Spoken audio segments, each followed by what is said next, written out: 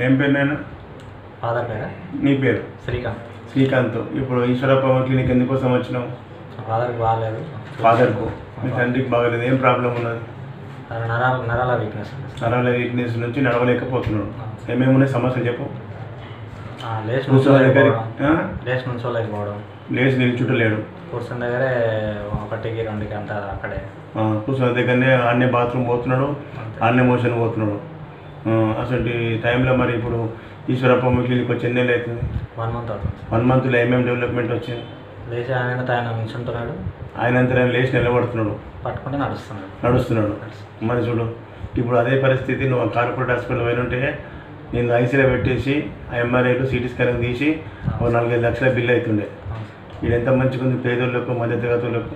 ప్రతి ఒక్కరు కూడా నీ లెక్క సమస్య ఏది రా- ఏది వచ్చినా వెంటనే హోమియోపతి డాక్టర్ని కలిసి టైం రావాలి.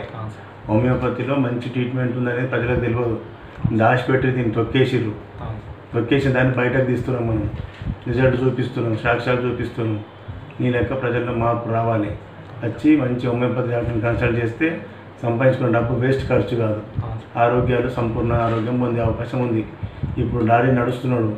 రన్నింగ్ చేసేదాకా మందులు ఇస్తా. ఓకే థ్యాంక్ యూ ఎప్పుడు రన్నింగ్ చేస్తే అప్పుడు మందులు బంద్ చేస్తా. Okay okay?